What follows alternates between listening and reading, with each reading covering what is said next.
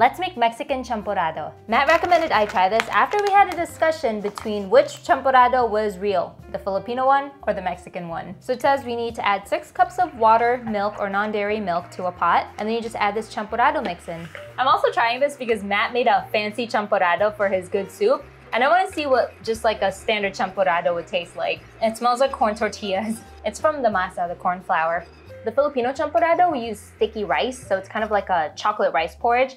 This, I feel like, is more of a drink. Cheers! Mmm. Ooh, it's like a little spicy. There's cayenne pepper in here. It's like a thick, creamy hot chocolate with cinnamon, cayenne pepper. This is nice to drink probably like before bed as like a midnight snack.